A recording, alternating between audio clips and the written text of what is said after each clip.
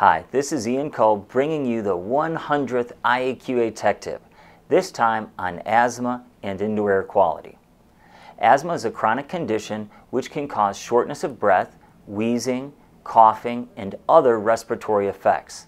According to the National Institutes of Health, over 25 million Americans live with asthma. About 9% of children suffer from asthma in the U.S. Well, what is it? Asthma is caused by inflammation which narrows the small airways in your lungs. It can be hard to breathe if the passageways are closing up. Someone once told me that their asthma attacks were like trying to breathe through a small coffee straw.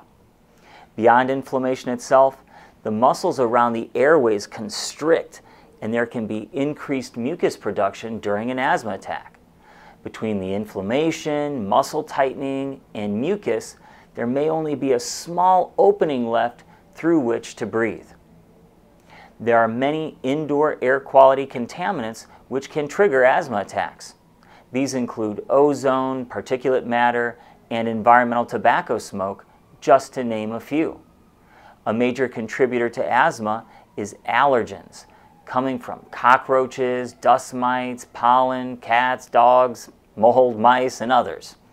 An allergic reaction to one of these substances can release histamine, which in turn causes inflammation and swelling in the airways.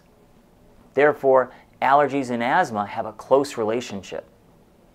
An article in the Journal of Allergy and Clinical Immunology states that allergies can be attributed to more than half of the asthma cases in the United States. The same article states that for children with asthma who live in the inner city, indoor allergy sensitivity is more prevalent than outdoor allergy sensitivity. This is more evidence that the indoor environment is of utmost importance to people with asthma. If you're concerned that indoor air quality contaminants are exacerbating your asthma, consider having an IAQA member evaluate the problem.